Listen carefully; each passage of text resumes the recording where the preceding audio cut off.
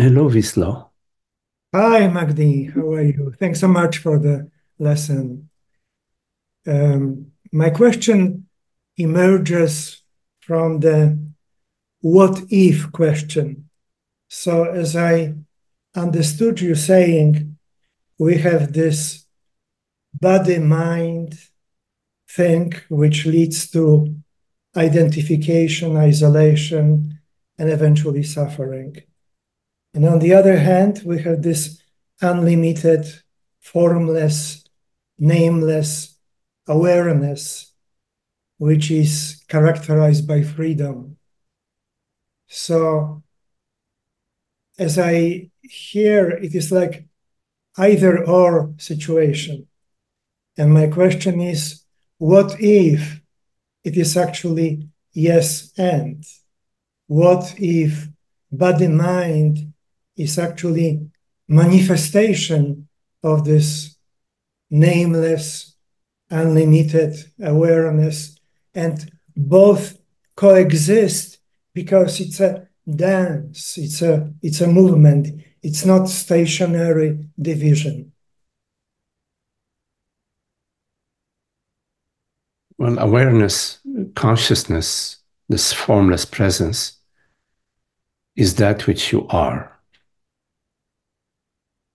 You know yourself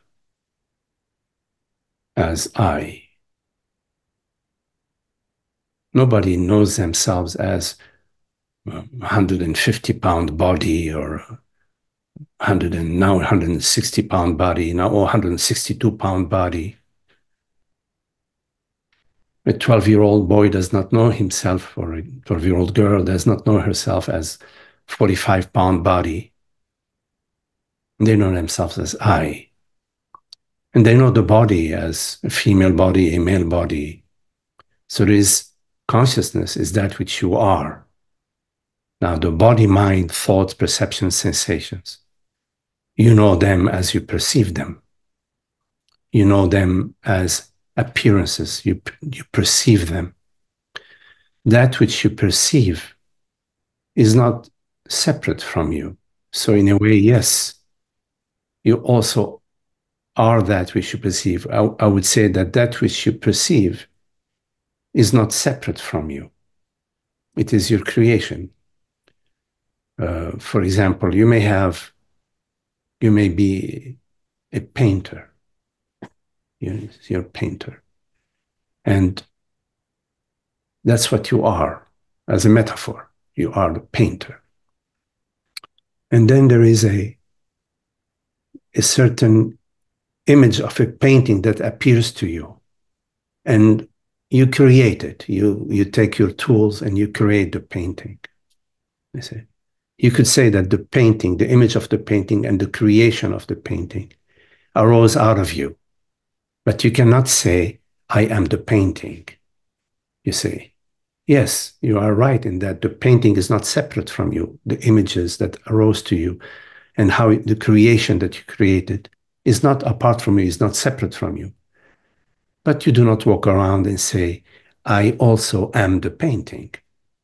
So uh, there is this difference between being and existence. Existence arises out of being. Existence has its source in being. In other words, manifestation has its source in being. But being is not defined as existence.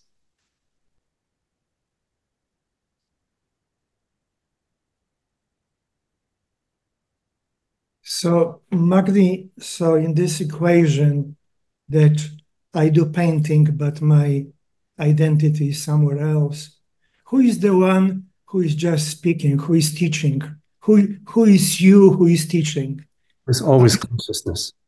I am not the tool. There is a there is a body mind instrument, a biocomputer named Magdi. It's a male biocomputer. It's got a grayish beard. You can describe the weight, the characteristics of the machine, of the biocomputer, of the instrument. But that which is speaking is consciousness. But that computer speak about consciousness. It doesn't oh. speak. The biocomputer does not speak. Mm.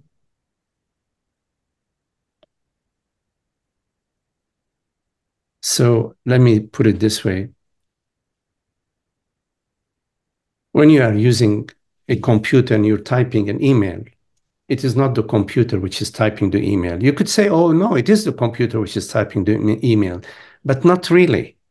You are typing the email, not the computer. It's true that the computer is a Mac uh, and it has a keyboard and a mouse, etc.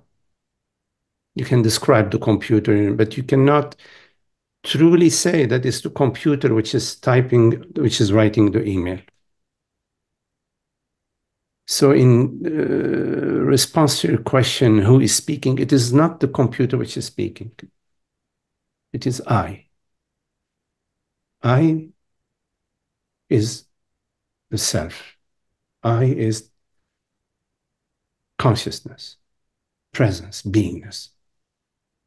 The same I that is speaking is the same I that is hearing. There's only one I. There are many different computers, many different instruments. There is, I don't know, uh, IBM computer, Mac computer, all sorts of various uh, tools, instruments, different body minds. Yes, that's true. But there's only one reality, one consciousness. It's important to understand that experientially. Experientially, when you refer to the body, you're referring to Magdi the body, Wisla the, the body, certain age, born in a certain town, mom and dad, different mom, different dad. You're referring to the biocomputer. Yes. But that which is referring to the biocomputer, that which perceives, that which is and knows it is, that which manages the biocomputer, is, is not the biocomputer. It is I, consciousness, the creator and the perceiver. Conceiver, the creator, and the perceiver is that one reality.